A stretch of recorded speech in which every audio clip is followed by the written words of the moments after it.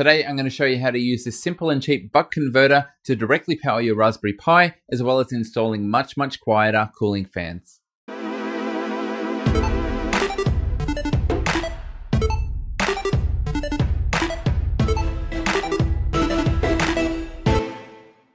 If you're like me, you're running out of PowerPoints. My Octoprint installation until now comes from a separate plug going into the wall, and that takes up a lot of real estate.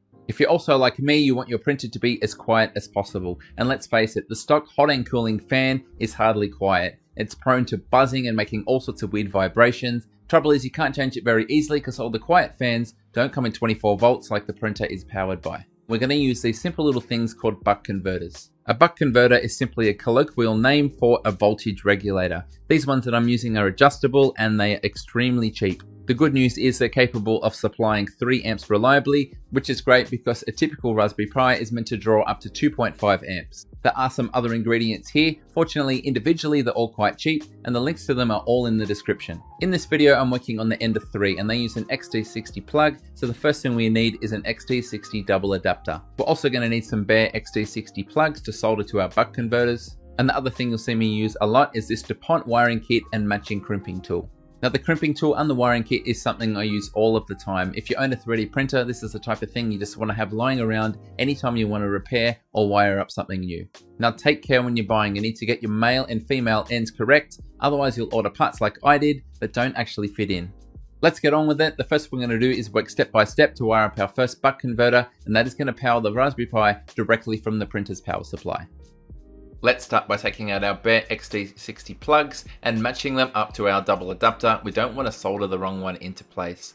After that, we can take some thick gauge wire, strip the outside shielding, and then strip the ends of the wires, ready to solder into place. Now I highly recommend pre-soldering the inside of the plug and the wire, which means later on you just need to heat up both and they'll add together very easily.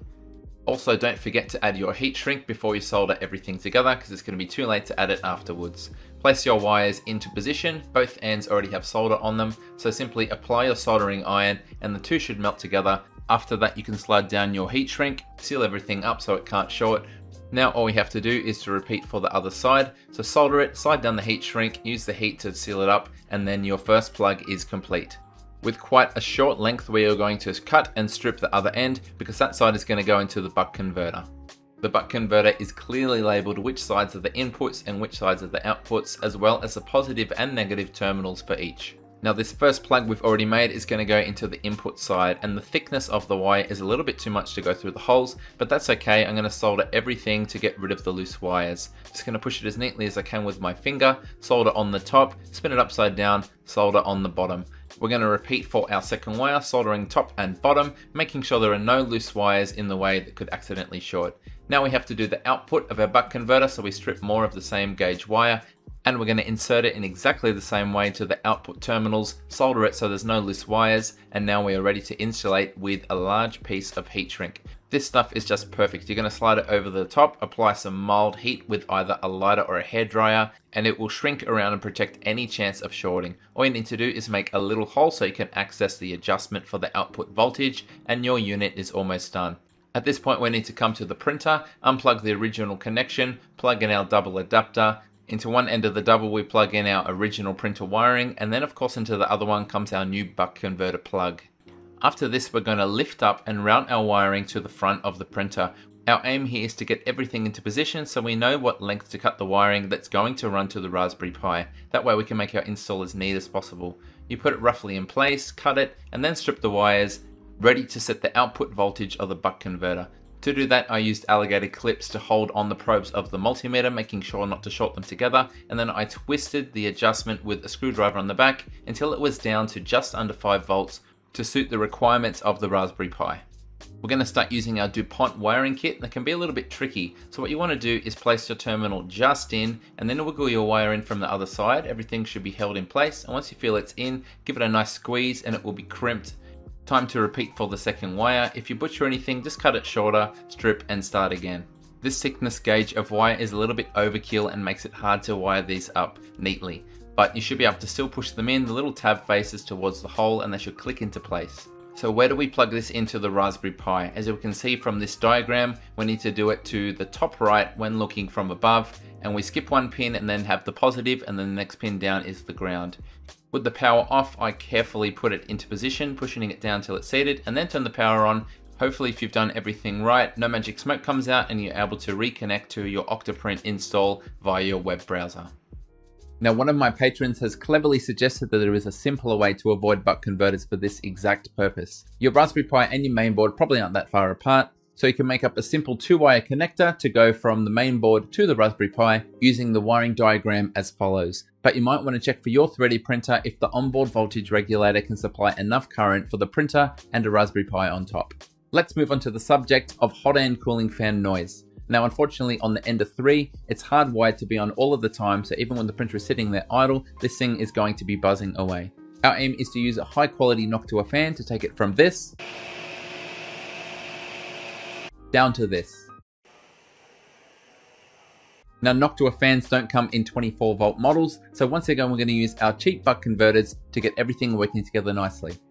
We are after the fan that is permanently on cooling the hot end and that is in the lower left of this diagram. By default, the two wires are loose and they simply go into the screw terminals. I decide to wire that up to a male DuPont connector which will still go into the screw terminals but will also go into an input for another buck converter. That one gets a male connector on the mainboard input side and a female connector on the output side. Here it is with the male end put into the screw terminals, therefore receiving 24 volts. I plug in the original hot end fan wires and they are going to go to this 12 volt Noctua fan, so please don't forget to adjust your buck converter down to whatever voltage fan you're using. I cut the fan connector at about 100 mils and add a male DuPont connector. You won't need the yellow wire that's used for delivering RPM. And then I fold back the protective sheathing and cut and insert a female DuPont connector at an appropriate length. Plug it in, fire up the printer and be greeted by this.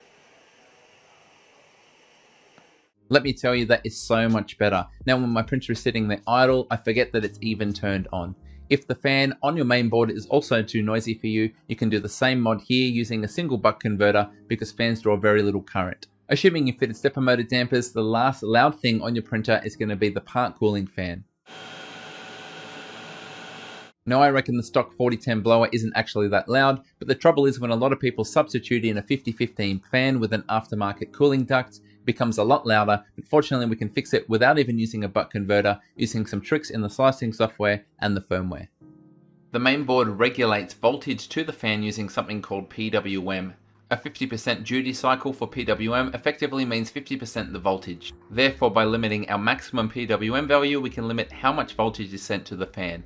Therefore, if you like, in your slicing software you can change all of your cooling settings to have a maximum percentage value to regulate your voltage. Therefore, if you were switching from a 24 to 12 volt fan, make sure your maximum value is set to 50%. If you're comfortable poking around with firmware, you can also set your max fan PWM in the firmware and therefore you won't need to change any of your slicing settings. Once again, we simply divide our value, so if we were switching from 24 to 12, we'll change it from 255 to 125. Just in case you didn't believe me, here's 100% PWM delivering 24 volts and only 50% PWM delivering just over 12 volts. Just like with the hot end cooling fan, I cut and installed a female DuPont connector on the wires coming from the mainboard, therefore I need matching male wires and I can quickly change between any of these part cooling fans.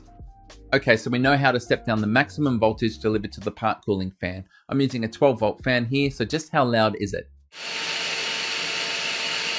Louder, yes, but the real noise comes from the PWM when you run the fan at lower voltages, for instance, if you didn't want it blowing at its maximum capacity.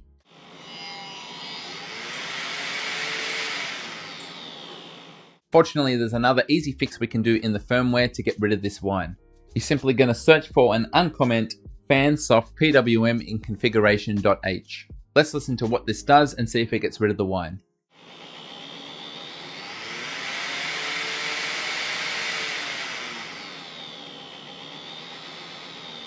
I've also read that you can wire in a capacitor in parallel to smooth out the signal of the PWM, further reducing the whine. Unfortunately, my results didn't show that that really made any difference.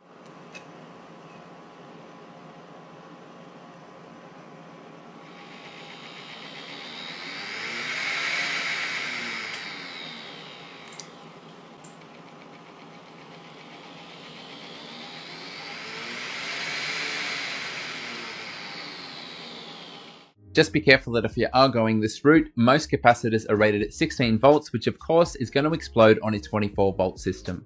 That's going to wrap this one up. There was a lot of input and requests from my patrons for this one, so hopefully I've delivered something that's helpful for you as well as them. When I tested cooling fan ducts, a lot of people were asking me how to fit the larger duct. Hopefully this video is useful for that purpose as well. Please leave a comment if you've had success with any of these, and until next time, thanks so much for watching, and happy quieter 3D printing.